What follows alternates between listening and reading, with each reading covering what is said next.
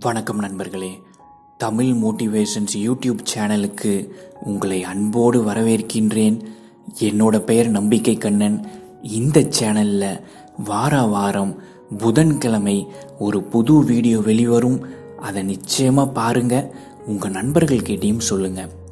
இன்னைக்கு நாம் எதை பற்றிங்க பேச போகிறோம் நீங்கள் ஒருத்தர்கிட்ட பேசும்போது அந்த வார்த்தைகள் உங்களோட வாயில தொடங்கி இன்னொருவரோட காதுல முடியல. உங்களோட மனதில் தொடங்கி இன்னொருவரின் மனதில் முடிகின்றது. நீங்க பேசுற வார்த்தைகள் அவரோட மனசுல ஒரு தாக்கத்தை ஏற்படுத்துது.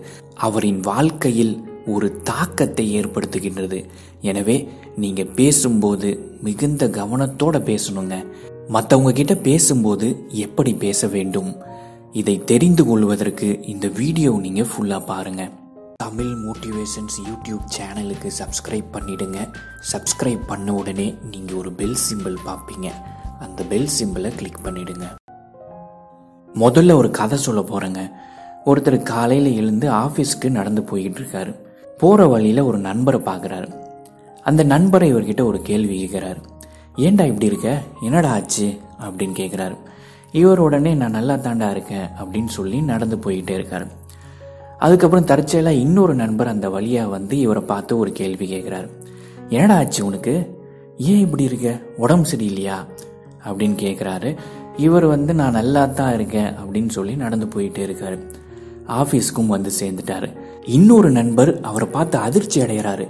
என்னடா ஆச்சு உனக்கு? ஏன்டா இப்படி இருக்க? அப்படின்னு மிகுந்த சத்தத்தோட மிகுந்த உணர்வுகளோட மிகுந்த ஆச்சரியத்தோட கேட்குறாரு.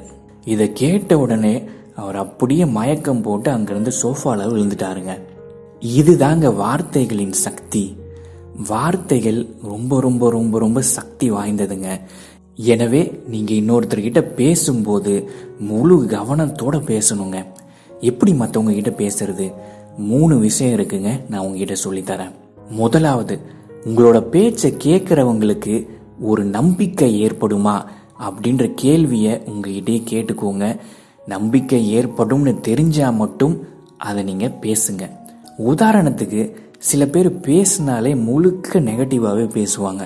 வீட்டில் கரண்ட் இல்லை ரேஷனில் போனால் அரிசி இல்லை ஆஃபீஸில் மேனேஜர் திட்டிக்கிட்டே இருக்காரு வீட்டில் மனைவி திட்டிக்கிட்டே இருக்காங்க குழந்தைங்க சொல் பேச்சு கேட்க மாட்டேங்கிறாங்க அப்படின்னு முழுக்க முழுக்க எதிர்மறையாகவே பேசுவாங்க.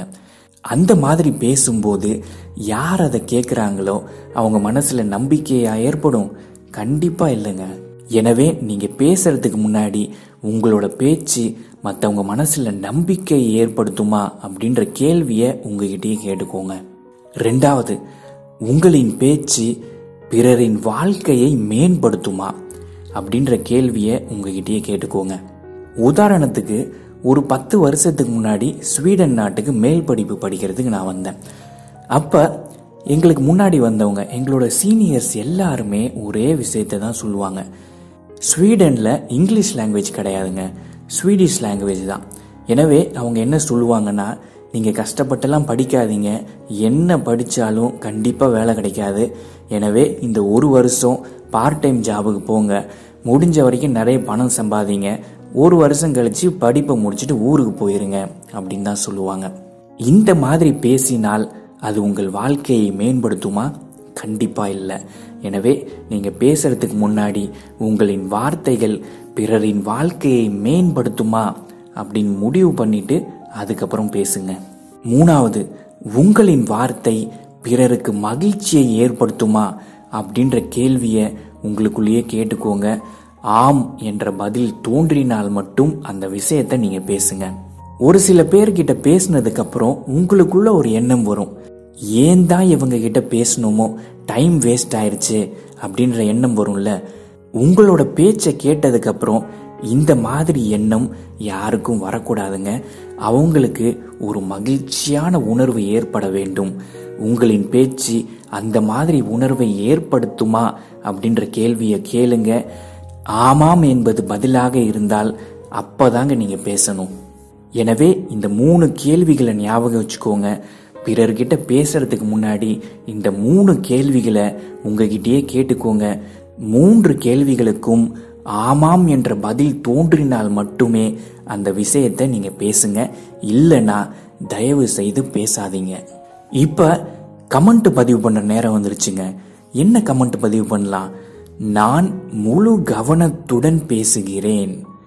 நான் முழு கவனத்துடன் பேசுகிறேன் அப்படின்ற கமெண்ட்டை பதிவு பண்ணுங்க. இந்த கருத்து உங்கள் மனதில் பதியட்டும். இந்த கருத்து உங்கள் ஆள் மனதில் பதியட்டும். இந்த கருத்து பிரபஞ்சத்திடம் செல்லட்டும். பிரபஞ்சம் எப்போதும் உங்களுக்கு இந்த விஷயத்தை நினைவுபடுத்தி கொண்டே இருக்கட்டும். என்னுடைய மனமார்ந்த வாழ்த்துக்கள்ங்க.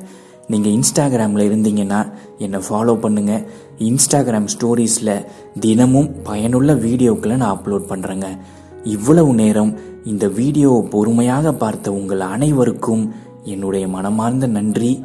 வணக்கம்.